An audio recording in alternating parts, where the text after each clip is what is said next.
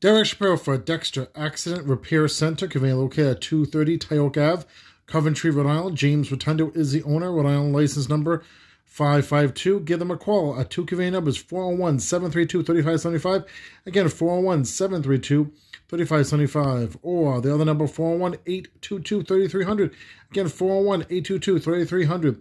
James Rotundo is the owner at Dexter Accident Repair Center at 230 Tiogue Ave, Coventry, Rhode Island. Tell them that Derek Shapiro sent you.